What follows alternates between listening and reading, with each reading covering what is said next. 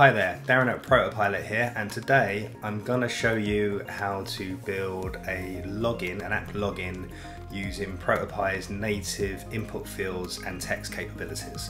So let me show you what we're going to be building.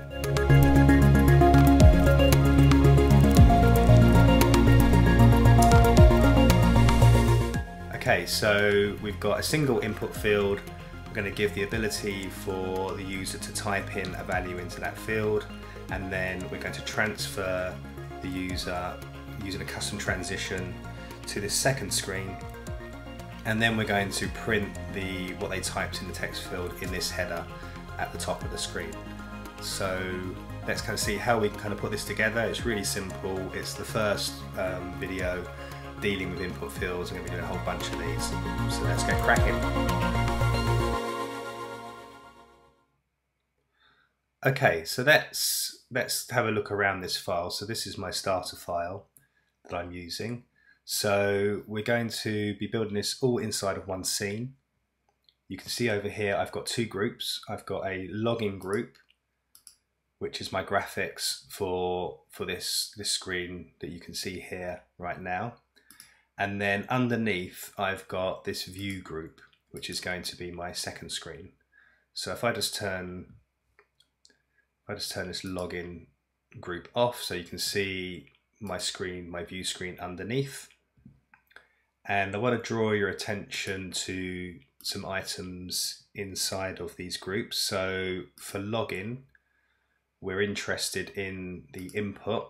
So this is an input component inside of ProtoPie. So you access this from the text menu.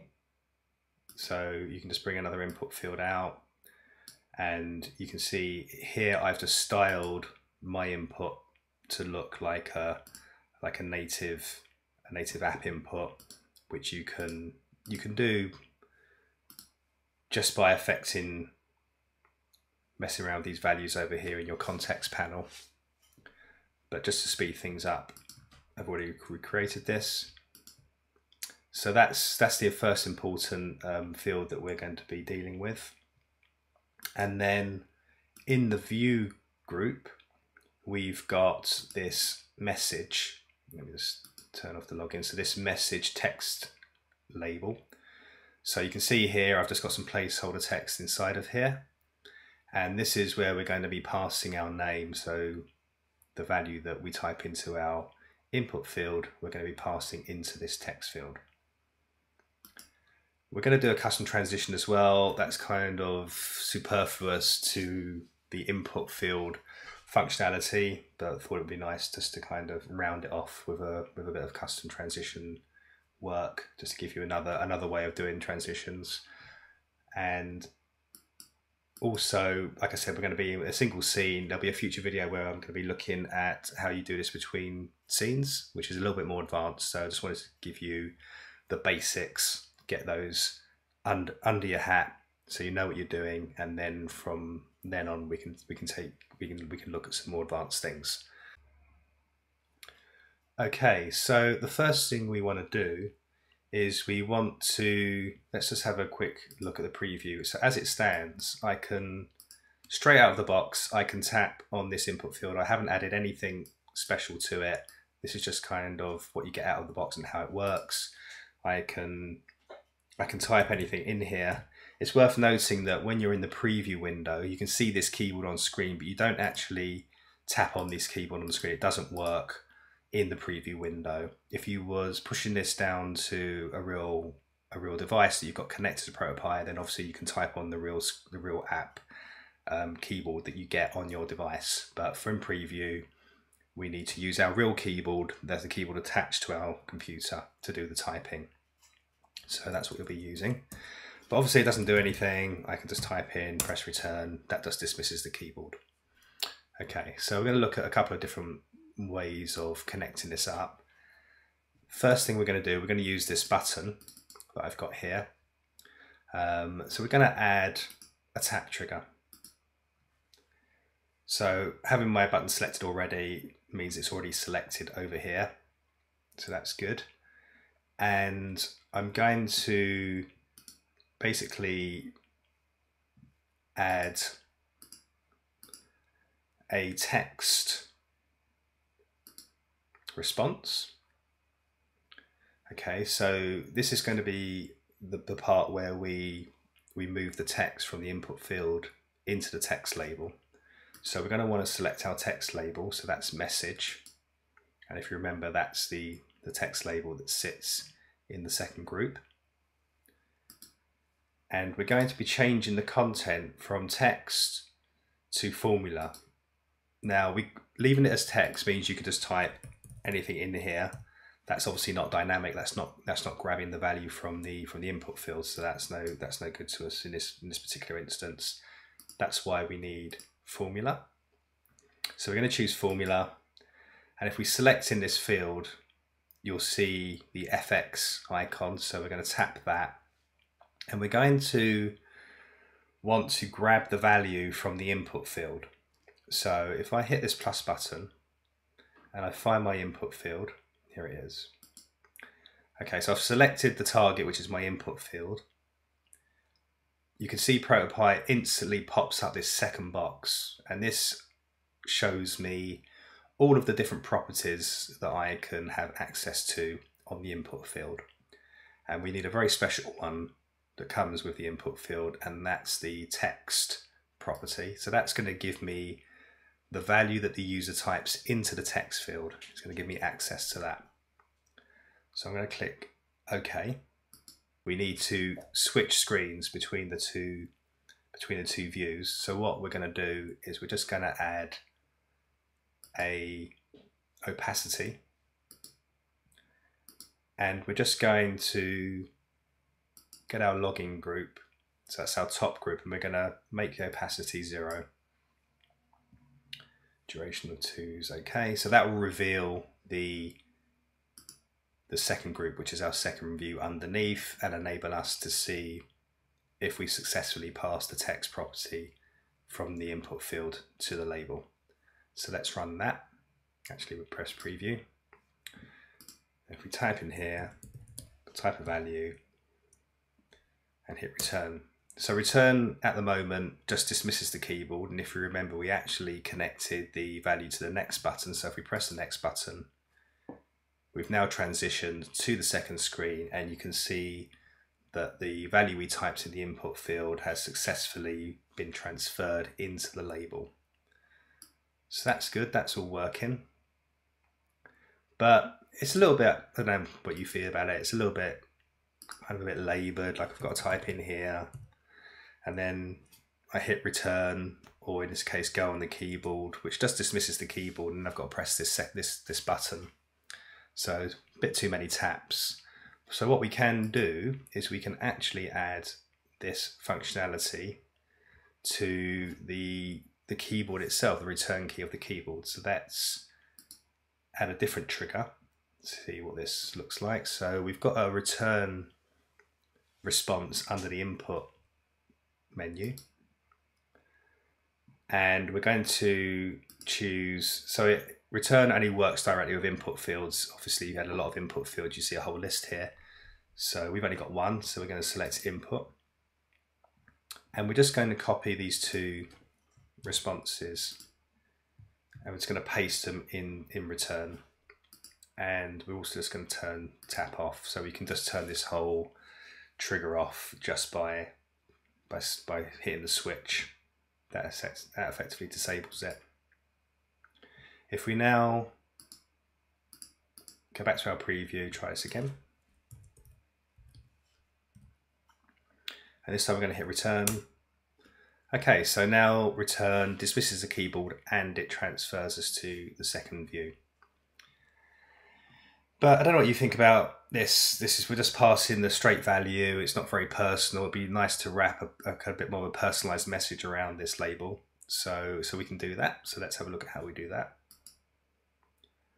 So coming back to our formula here. So we're literally just grabbing the value, but we can we can wrap some some other text around this. So if you put your cursor right at the beginning and you want to tap a double quote, and we're going to tap a message. So we're going to say,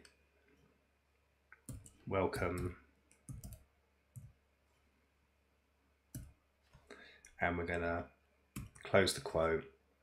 And now we need to add a plus between the two.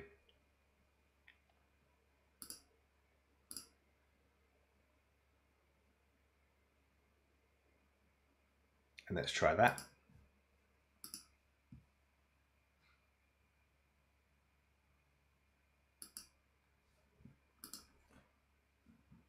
Type our name, hit return. Great. So now we've got welcome Darren, but you can see there's there's a space missing. So we just need to add that space in. So what we do is we just add that inside of the the custom text in our quote marks. We can just add a space there and that will that will add that in. Preview again. And now you can see we've got a nicely formatted message. So that's the basics. That's the basics of how to take some text input from an input field and put it into a label. In the next segment, we're going to look at how we add that custom transition. Okay, so let's have a look at how we might add a custom transition, a simple custom transition to this. So what we're going to do is we're going to just going to have our top login screen. We're going to have this moving, animating off to the side like this. And then we're just going to, we're just going to pop the view underneath using a bit of scale just to bring that into view. So the first thing we need to do is to animate this, this screen. So you, you'll have to kind of like, if you want to get the exact value like I have, you kind of have to move it into the position you want it to be just to kind of see the value. So we can see here it's minus 376, but, but do remember to put it back.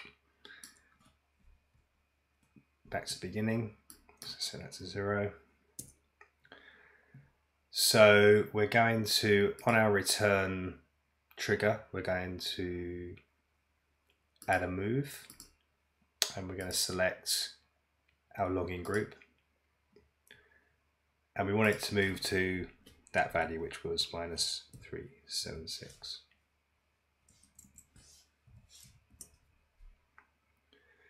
Okay, and I'm going to use an ease out animation curve. That just means it will it will instantly start moving and go from from instantly moving and start to slow down as it as it goes off screen. And I'm going to leave that actually no, I'm going to change that to 0.4. Let's have a preview of that.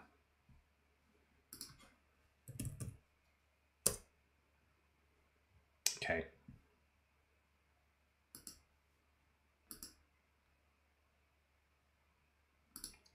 We see that we've got this opacity, we can remove this opacity now because we've got the move transition.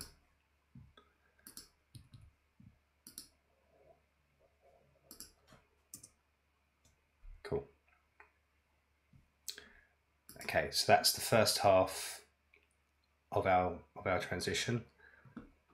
For the the second the second half, so the view itself. So I just want this view to kind of just scale up a little bit. So because of the way scaling works, I can't just just kind of scale it manually like this. You can see it goes crazy. So I need to actually animate it to the initial state first and so that I can then animate it back up again. So I want to animate it down to just 10% smaller than it currently is, so then I can animate it back up 10%. So the way we're going to do that is we're going to we're going to use a start trigger and we're going to select our view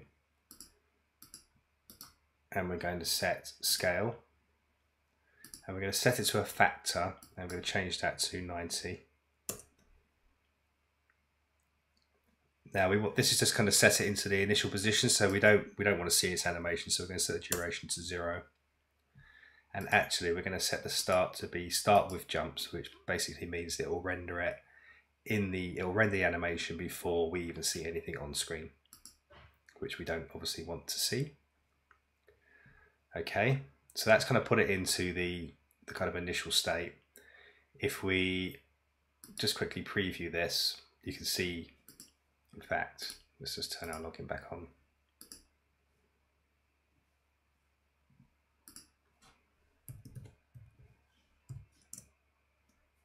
And you can see this is set to a scale position. You can see that the tab bar is slightly inset.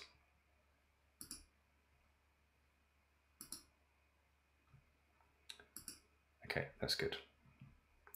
Okay, so that's set it to the initial position. Now we want to animate it up. So we want to set, so because we've used an animation inside a ProtoPie to, to transform a property, we can use a really handy uh, response called reset. And what that basically does is it resets the an object back to its original state before before any animations or anything has run. Um, so we're essentially going to use that to reverse the animation for our scale. So we're going to use reset and we're going to choose the view. And again, we want this to ease out. And we're actually going to delay this slightly as well. So we're going to keep the duration to two and we're going to delay it so that basically our move animation is going to move by 0.4. So when it gets halfway through that animation, that's when this animation is going to trigger. And because it's going to trigger halfway through, we just want it to be slightly shorter.